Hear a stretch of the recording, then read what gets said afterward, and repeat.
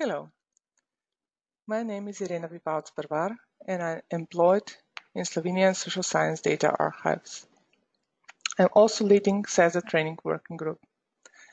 I'll be talking today about legal and ethical consideration for sharing research data, especially in the field of social science and humanities.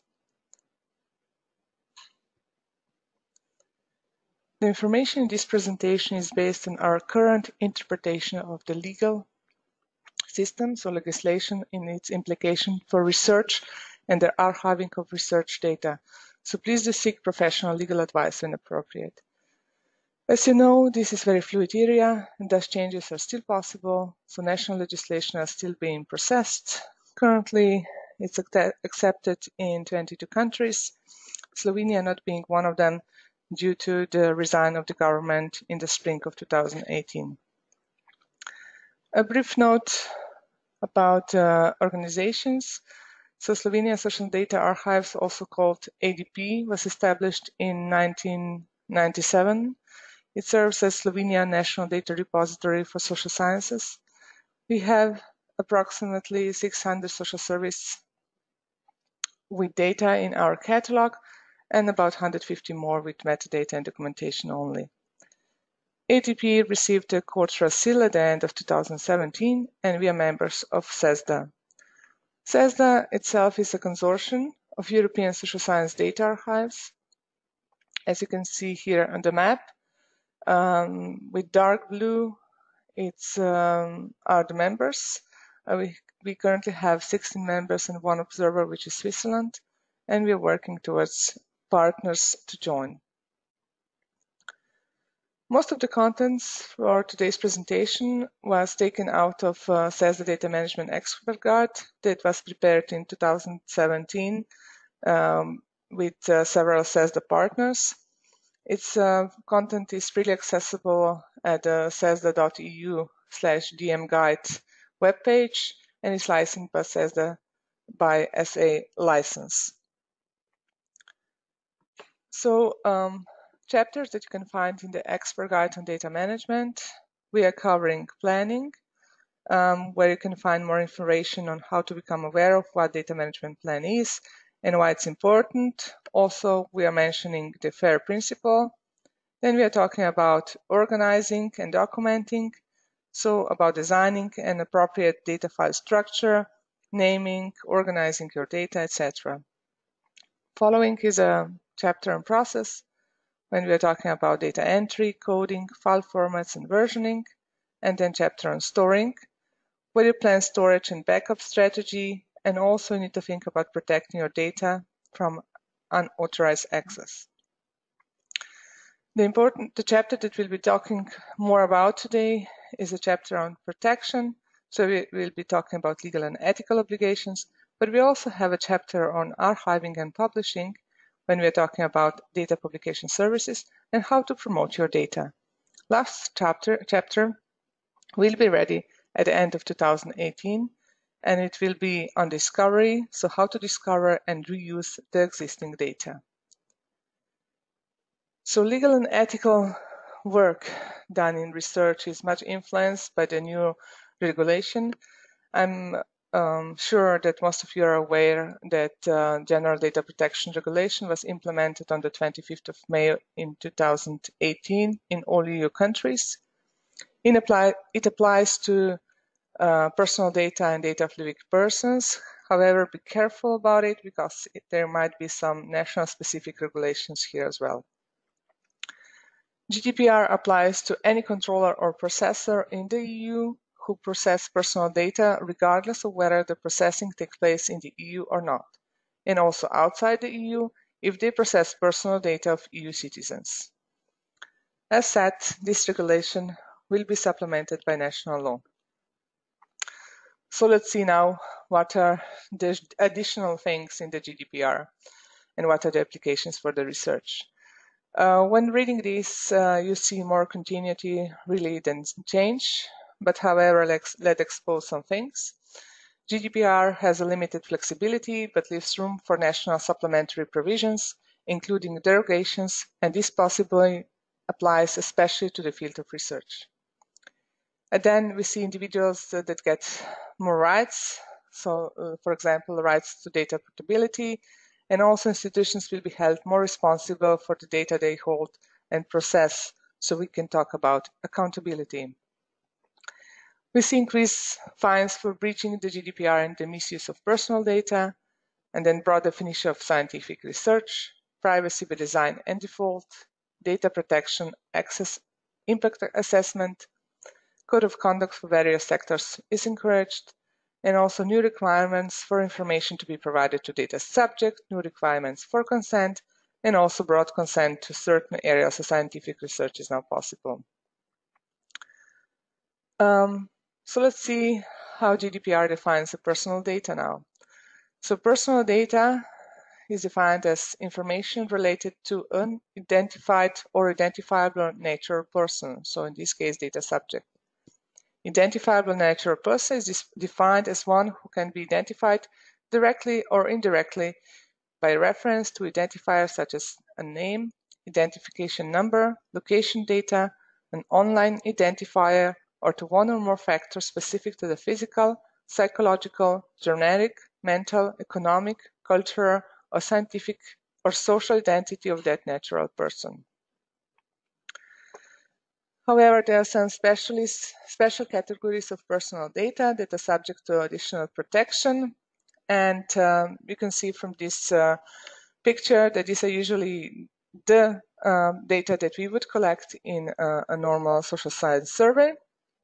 So uh, special categories data falls under racial or ethical or origin, then political options, religion or philosophical beliefs, trade union membership, data concerning health or sex life and sexual orientation, and also genetic data or biometric data.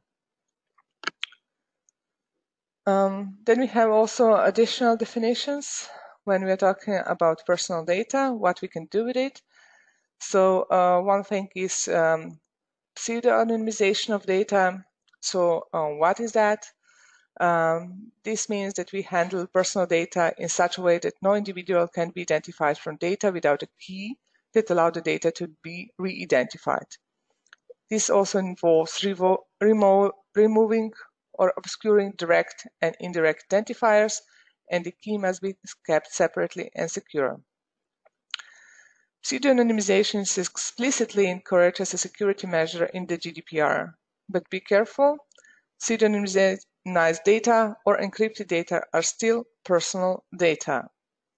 And to go one step further, um, on the other hand, we are talking about anonymous data, so where information which does not relate to identified or identifiable personal person. Again, on the other hand, we are talking about anonymous data. So what is anonymous data? information which does not relate to identifier or identifiable natural person or personal data rendered anonymous in such a manner that the data subject is not longer identifiable. Anonymization of the data should be irrevocable, but should also be checked at regular intervals in the light of new technology. In practice, it's very hard to anonymize data, especially when uh, we are talking about qualitative research data like in-depth interviews. However, it's really important that we really try to do this, especially because GDPR does not apply to anonymous data. Um, what are the principles that need to be complied with when processing personal data? Again, start of this page. So what are the principles that need to be complied with process when processing personal data? Um, in the GDPR, we can find six, six principles in the Article 5. So we are talking about personal data that must be processed lawfully, fairly, and in transparent manner. In practice, this means that the data subject is informed of what will be done with the data. And then um, next principle is collected. Data need to be collected for specific purposes and not processed further for incompatible purposes. We are talking about purpose limitation. However, there are exemptions for research and archiving purposes in accordance with Article 89. And the next principle Personal data must be adequate, relevant, and limited to what is necessary. So data minimization, do not try to collect what you don't need. And data must be accurate and when necessary up to date. They must be kept identifiable for no longer than necessary. So storage limitation, I guess, uh, again, there's exemption for research and archiving purposes in the line of Article 89. Data also need to be processed with appropriate security, ensure data integrity and confidentiality. And for the end, controller shall be able to demonstrate compliance, it's also said. So we're talking about accountability. What are the legal ground for processing? All processing of personal data requires legal basis. So uh, most common, um, we see a lawfulness of processing defined in Article 6, 6 when we are talking about consent, necessary for the performance of a task carried out in the public interest, and if the collection is necessary for limited, uh, again. So what are the legal grounds for processing personal data?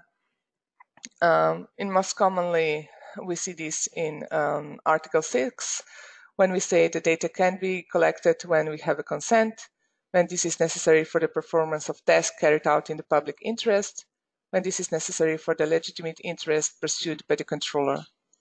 But we also have special categories data when this is able to be collected, and so we need to have explicit consent, uh, or if personal data are manifestly made public by the data subject.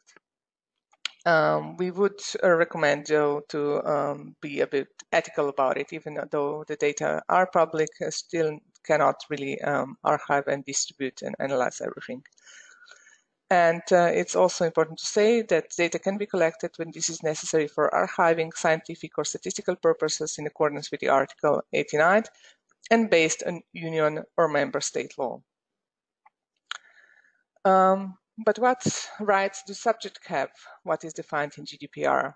So for in short, these are the rights to be informed, the rights of access, the right of the right to rectification, the right to erasure, so the right to be forgotten, the right to strict processing, the right to data portability, and the right to object, and rights in relation to automated individual decision making and profiling. As uh, mentioned previously, there are special provisions for archiving and uh, research purpose, so how we can use data there. In accordance with Article 89, Further processing is not considered to be incompatible with the initial purpose. Personal data may be stored for longer periods, and there are also exemptions for the subject rights that we just mentioned before. So the subject um, cannot be forgotten, they don't have right to object, uh, they don't have right to information. Um, however, this is not something new. This is something that we encounter in uh, many documents on research ethics, um, especially looking at the disciplinary code of ethics, let's say American Sociological Association. You might even have a national code of ethics that would define um, your work with uh, personal data or data subject. Um, we also have a, a, European Code of Research Integrity where you can find mentioning of how you need to process when you're collecting the data. You might even have university or institute defined code of ethics as we have in University of Ljubljana. And to go further, these kind of definitions might be defined, so the codes of ethics might be defined by the funders as Horizon 2020 or other EC projects or grants that we see. And also you can see this um, as a requirement for specific journals, like uh, that uh, they would uh, um, take again this web page. But this is not something new. This is something that we already see in many research ethics documents. So, uh, for example, um, you can read the Disciplinary Code of Ethics of American Sociological Association. There are many definitions in it and many um, guidance on how to work with the personal data. And uh, you might even have a national code of ethics uh, from different associations. Then we also have European Code of Research Integrity, where it's again defined what to do with research data.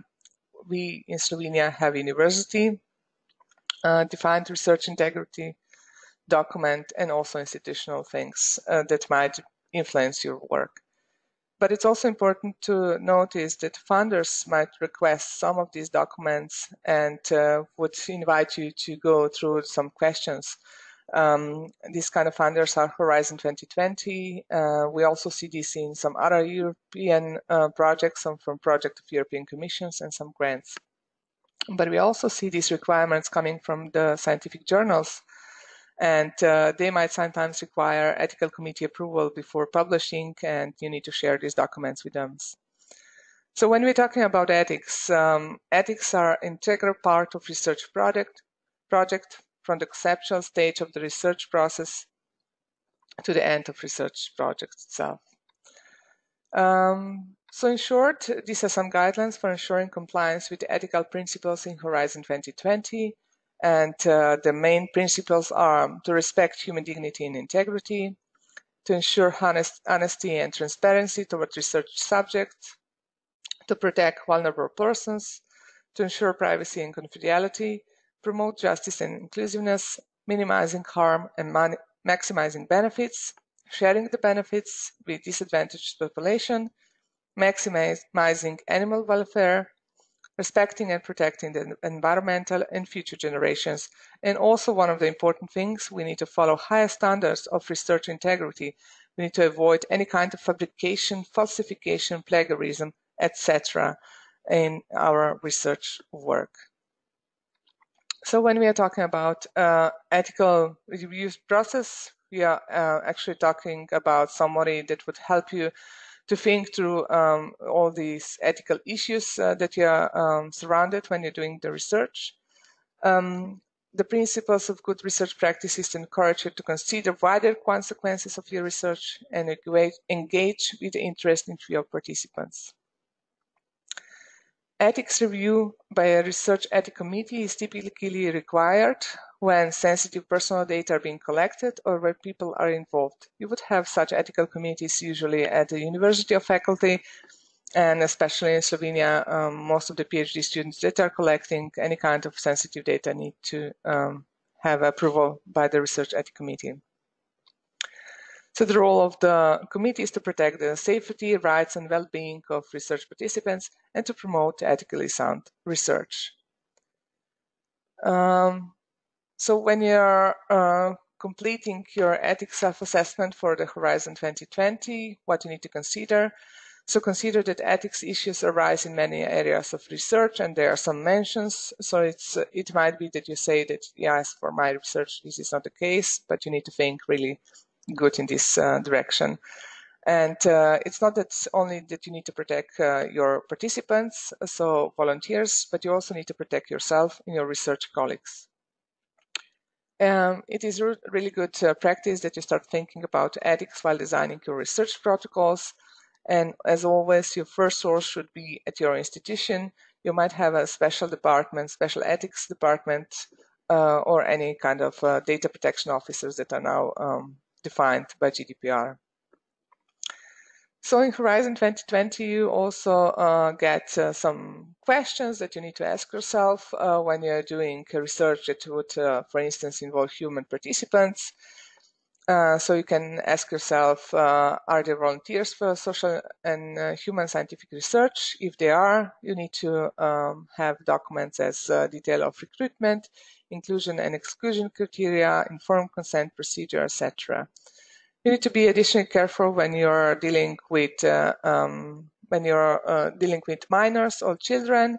You might need to have approval from the guardian or legal representative, and you need to make uh, sure to clarify why you need to actually address uh, this uh, group of uh, respondents and why you cannot work with some other group. It's also good practice that you do a risk assessment so you might uh, um, do a potential misuse of research results. Um, so when talking about personal data, you need to ask yourself uh, if you're collecting it, uh, does it involve the collection or processing of sensitive data?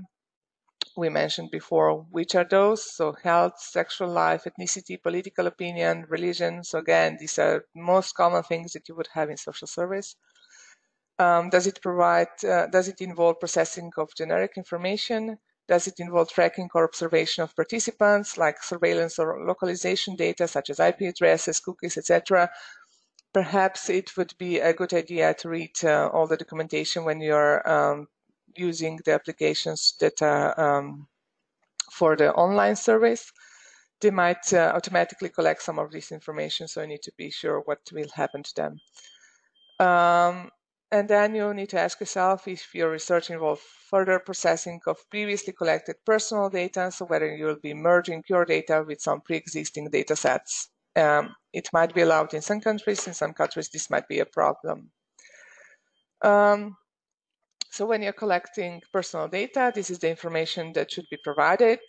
Details of your procedures for data collection, storage, protection, retention, transfer, destruction of reuse, etc you might need to collect methods of storage and exchange, and then data structure and preservation. So there's a quite a good list of things that um, is suggested to actually save. Um, and sometimes you wouldn't save it systematically, so it's really good that you go through these questions that are offered by different funders and uh, um, follow them. It, it really helps uh, to think about it.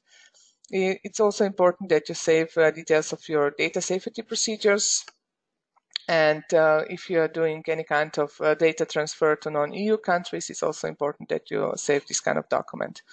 On the first stage, it's also important that you save uh, copies of a notification for collecting uh, personal data and inform uh, consent form, as well as information sheet and other relevant documents. Um, so, as we briefly touched the ethical part, it's really important uh, that we um, respect the standard. And sometimes uh, to respect the standard, we need to actually do a combination of things. So from the archival point of view, we would actually advise um, that you do uh, try to get a consent, you send information sheet, you do anonymize data, and gain, uh, gain clarity over who owns the copyright to your data. And especially, you also need sometimes to control access because anonymization is just not fully possible. Um, about controlling access, there's additional chapter in our DM guide, so I'll not go into deep in it, uh, but we would strongly suggest to use a common license like uh, CC uh, licenses. Uh, so what is informed consent is the process by which information, a researcher discloses appropriate information about the research so that a participant may make a voluntary, informed choice to accept or refuse to cooperate. And uh, more about the consent we can find in the Article 4 and Article 7 of the um, of GDPR. And by definition, GDPR, we say that consent is any freely given, specific, informed, and unambiguous indications from a person that confirms that his or her personal data might be processed.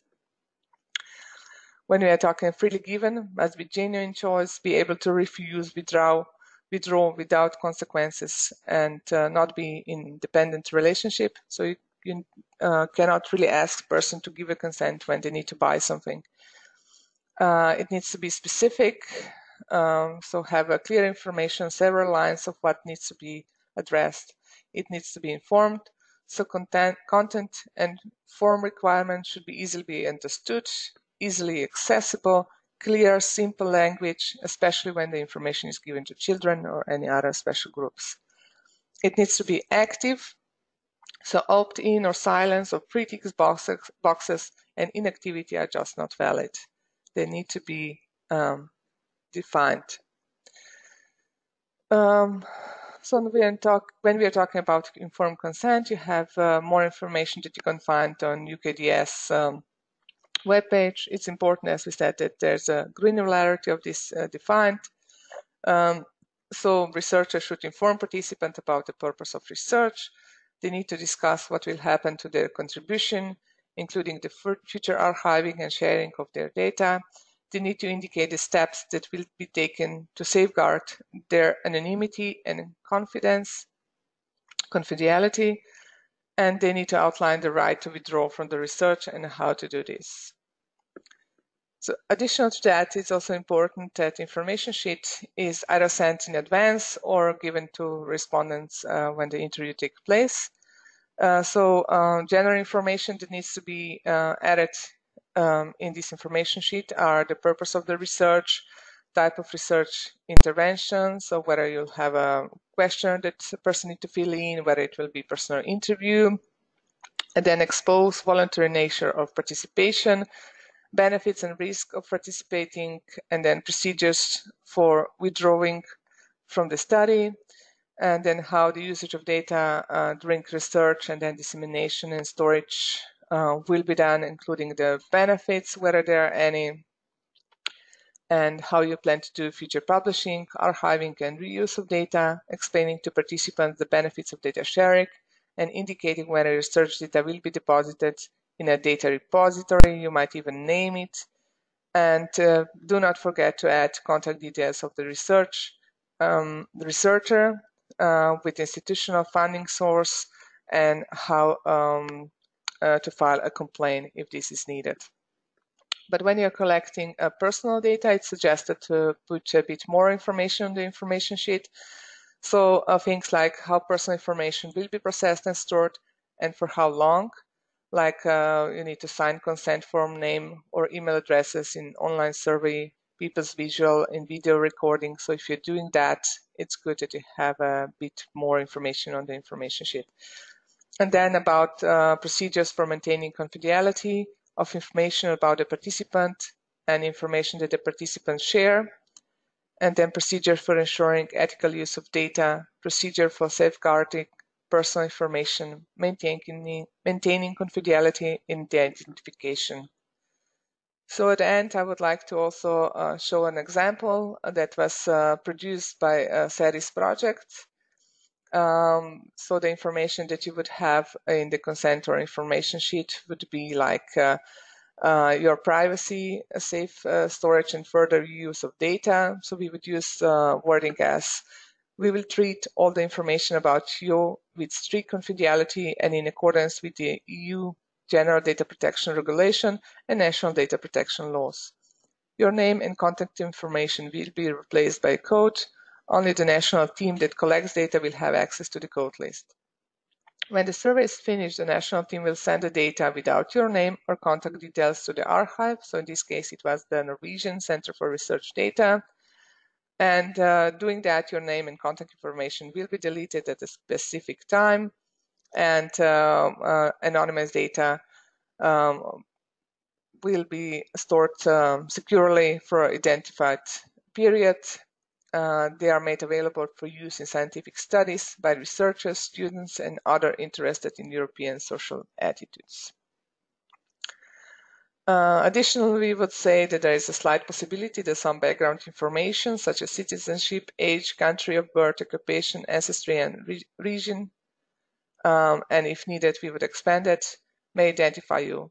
In such cases, access will only be given to researchers after approval applications and confidentiality agreements are in place. The results will be published on our website at a specific uh, day uh, and year, and we'll make uh, every effort to ensure that not participants will be recognized in any publications based on the study. So saying that, it's really important to also mention ethical arguments for archiving this kind of data. Uh, so we don't want to do um, to be a burden to research. Um, so we don't, don't, want to do over researched uh, groups, especially when we're talking about vulnerable groups or hard to obtain groups like elites and social excluded. And um, archiving the data and making it public, we also extend the voice of participants, and especially we provide greater transparency, greater research transparency. So to conclude, GDPR, as we see it now, is research friendly and safeguards the interests and the needs of scientific research institutions. The legal basis for processing data for research purposes are largely in place, but the possibility for member states to include conditions for certain types of data might pose a challenge, especially when you want to exchange data across borders. Then increased risk of re-identification creates a need for greater transparency to retain public trust, uh, new requirements for information to be provided, new requirements for consent especially. So must be able to, you need uh, to be able to document that consent has been given and uh, uh, it needs to be as easy to give it as to withdraw. Thank you for listening. Bye.